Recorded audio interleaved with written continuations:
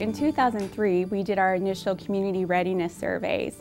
And what we found out is that the community wanted to talk about methamphetamine. They really weren't interested in talking about cardiovascular health. But with the knowledge that we gained from the surveys, we were able to develop a presentation that dealt with the impact of methamphetamine and substance abuse on cardiovascular health. So this was an innovative approach and it captured the attention of the community. The community really felt like that we were talking about what they wanted to talk about. And through that, we were successful in getting across our heart health message.